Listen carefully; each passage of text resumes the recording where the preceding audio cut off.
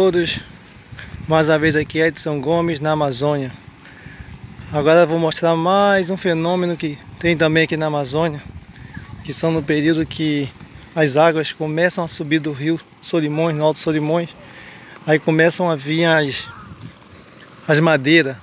É um, uma situação complexa porque é muito perigoso a madeira. Cada as embarcações passam e é prejudicial. Prejudicial que pode até naufragar a canoa. Uma canoa pode naufragar, um navio pode furar o casco, pode ser de ferro, pode ser de madeira, como quer que seja. A madeira dessa aí tem toneladas de peso. E elas quando vêm assim descendo Solimões, ela vem com peso, né? E esse peso pode acarretar acidente. Como virar um barco, uma canoa, furar um recreio, né? Então pode ver que são muitas madeiras. Elas vêm descendo do Alto Solimões, né?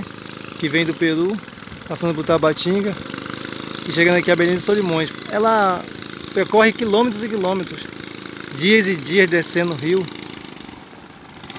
e indo se acumular nas, nos remansos, né? Pelas beiras. Pode ver são muitas madeiras.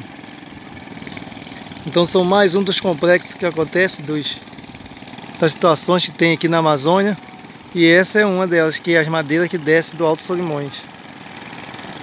À noite navegar aqui é perigosíssimo, quase impossível, mas tem a navegação. Mesmo com essas madeiras existe a navegação. Os barcos passam, os recreios passam, as balsas passam com toneladas de carga que vem de Manaus para Tabatinga, indo para o Peru, Colômbia. Então aí está mais um fenômeno da natureza aqui na Amazônia que é quando o rio sobe, passa nas regiões que são as ilhas, né? Que são as praias, e ela vai inundando e tudo que está ali vai descendo rio abaixo. Uma madeira dessa aí pesa toneladas. 20, 30 metros, com circunferência de 4 metros, 3 metros, independe. Então aqui elas descem, olha o tamanho dessa madeira ali, ó. Então mais um dos fenômenos da natureza aqui na Amazônia. Mais uma das minhas filmagens pelas águas da Solimões, no Alto Solimões da Amazônia.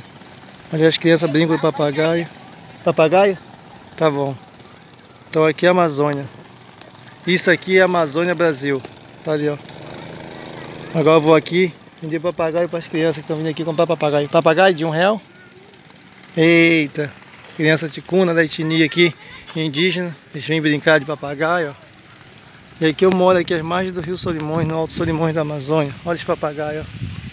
Criançada de papagaio. Trocar? Troca? Não. Tchau. Não. Um real.